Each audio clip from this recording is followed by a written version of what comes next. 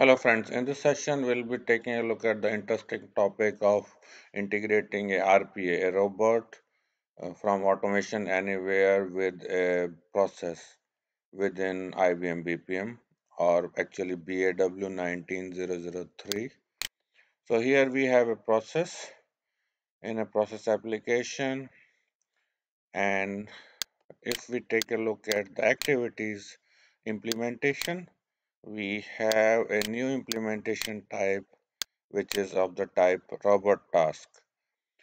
So this is similar to an external activity where the process stops and generates a task and then it's the responsibility of the external system to complete the task. In this case, a robot is supposed to be completing this task based on the inputs and outputs. So if you go to data mapping and click on the plus sign, you can add the inputs and the outputs. So the idea being that the process generates a task for a robot to perform. So a robot can perform a task in two ways, either through a REST API or through a, user interface robot which logs onto process portal, takes a look at all the tasks available, picks up the task, performs, takes the inputs out of it, uh, does the robot processing and generates the output and completes the task. So let's take a look at how, let's create some instances here. And if you create these instances in the process portal, the instances will be there.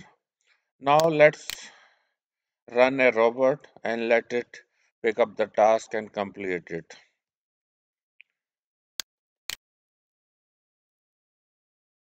So the robot has kicked off, it's logging into process portal, identifying tasks which it is supposed to perform, which are which are the subject robot tasks and doing opening it in a new window and then it will pick up the input values and then process the data on further processing and then put in the output values into this task and it will complete the task.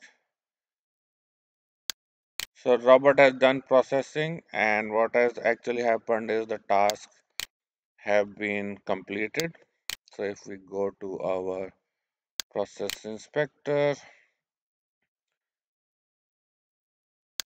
those tasks have been completed they are no longer available here so th this is the idea behind a robot basically coming in identifying its task so it can identify ta task based on a rest api call there are some rest apis uh, calls which it can make to find its work queue and take the inputs from the process. For example, the process has specified that you work on document number XYZ.